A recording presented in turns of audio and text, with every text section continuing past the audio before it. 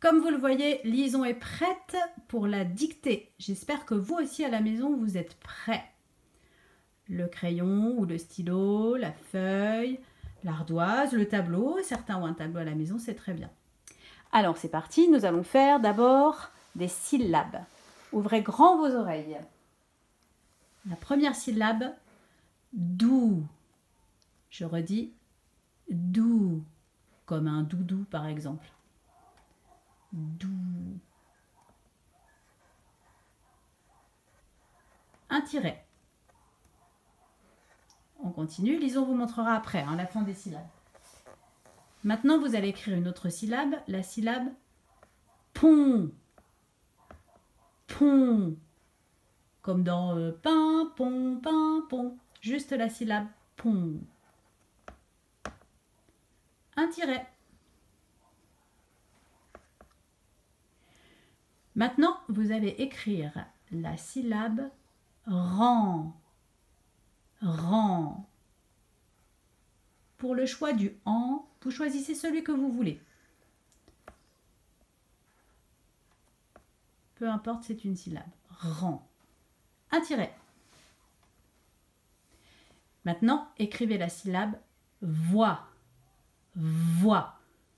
Comme dans voiture, par exemple. Voix. Un tiret.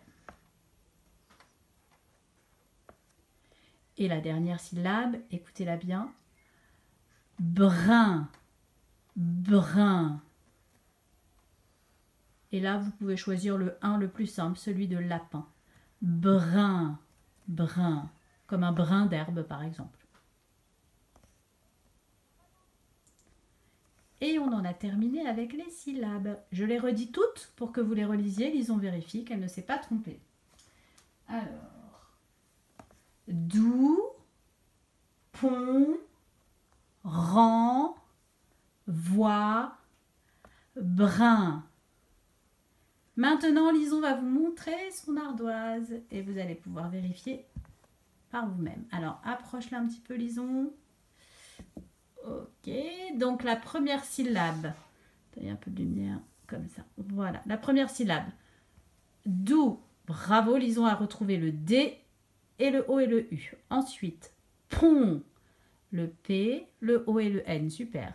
Rang, elle a choisi R, A, N. Vous auriez pu aussi choisir R, E, N. C'était possible. Ensuite, voix, parfait, V-O-I. Et brin, B, R, I, N. Son B aurait pu être un peu plus haut car il fait trois lignes de haut. Merci Lison. Maintenant, on continue. Sur la ligne du dessous, on va écrire quelques mots. Le premier mot, vous allez tous écrire poupée.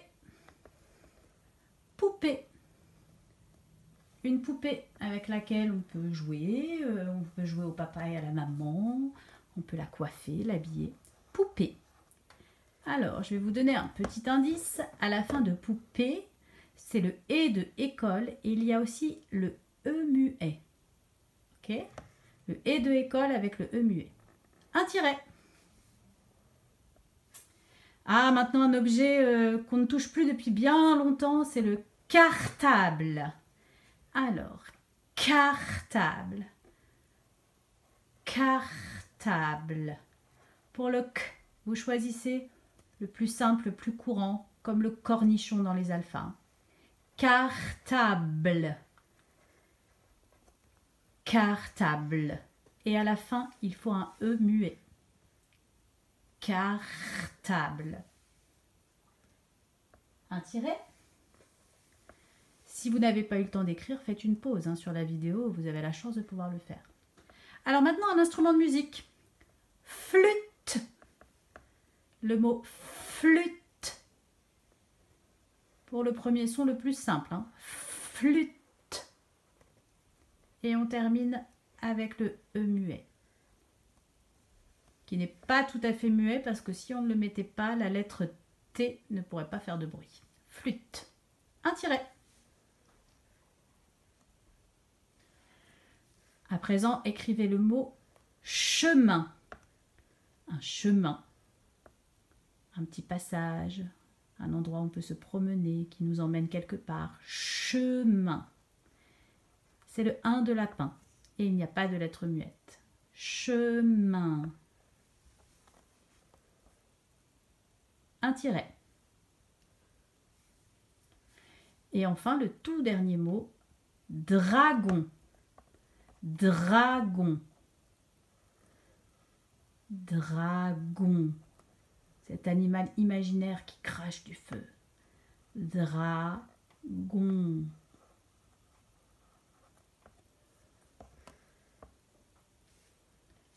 Ok, je vous redis tous ces mots. Vous les relisez avant qu'on regarde la solution de liaison. Il y avait poupée, cartable, flûte, chemin et dragon.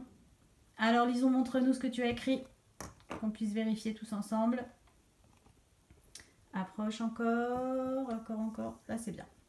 Le premier mot, poupée, Lison a bien pensé à l'accent et au E. Dans le mot cartable, elle a bien entendu où était le R, car il y en a un, C-A-R. Et à la fin, cartable, B-L et E, bravo. Dans le mot flûte, elle a bien entendu le fl au début. Le mot chemin, bravo. Elle n'a pas oublié le son ch, comme on l'écrivait.